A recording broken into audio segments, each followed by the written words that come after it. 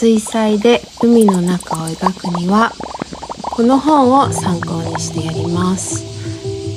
全部水で濡らして下からブルーを上に向けてグラデーションで塗ります。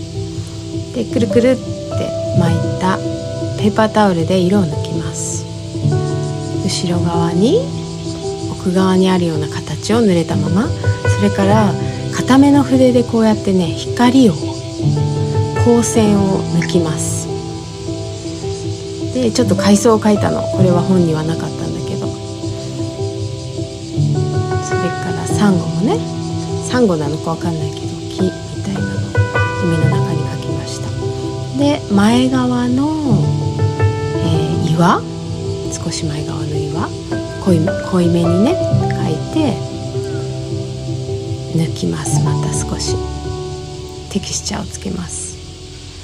それからお魚を描いたら出来上がりです。キラキラしてるでしょ？やってみてね。